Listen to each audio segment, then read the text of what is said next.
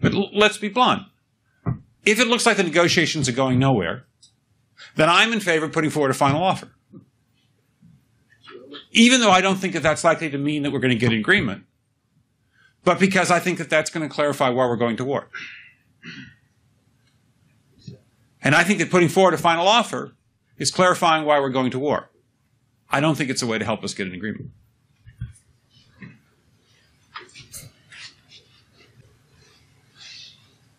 The final offer would give Iran everything it said it's won.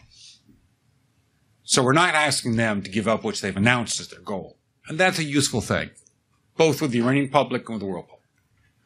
We have to face the distinct possibility that our campaign of greater pressure on Iran will not influence the supreme leader.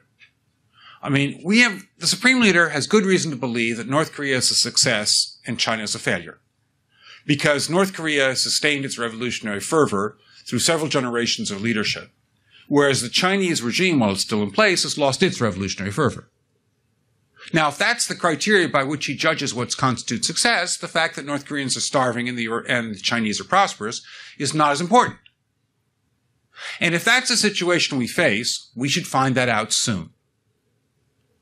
Because in that situation, we are headed towards war. And we need to clarify that. I'm not sure that the Iranian leadership would agree with that judgment. I'm not even sure the supreme leader would make that judgment. But it is quite possible that he will. And if he does, we should know that soon. I frankly think that crisis initiation is really tough. And it's very hard for me to see how the United States uh, president can get us to war with Iran. Um, which leads me to conclude that if, in fact, compromise is not coming, that the traditional way of Amer- America gets to war is what would be best for U.S. interests.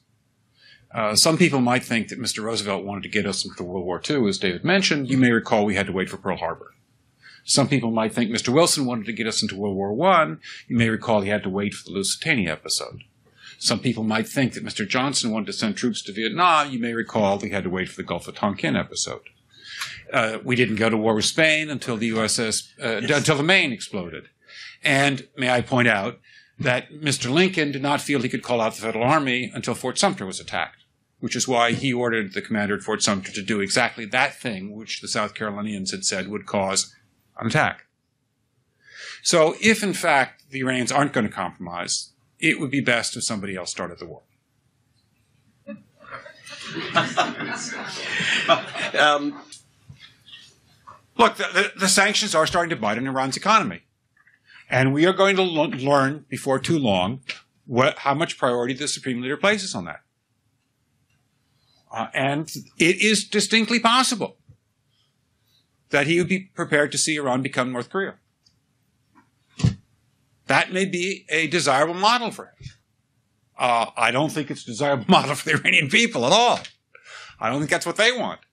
And I think he'd face a lot of resistance if he tried to push that idea through. But that is possible. I mean, this is a man who seems to place such high priority on revolutionary fervor. And we will find that out. I don't know. Uh, but I would just like to suggest that uh, uh, one can combine other means of pressure with sanctions. Uh, I mentioned that explosion uh, on August 17th. Uh, we could step up the pressure. I mean, look, people, Iranian submarines periodically go down. Someday one of them might not come up. Who would know why? we can do a variety of things if we wish to increase the pressure. I'm not advocating that. But I'm just suggesting that uh, it, it, this, this, is not a, a, either or proposition of you know it's just sanctions has to has to succeed or other things. We are in the game of using covert means against the Iranians. We we could get nastier at that.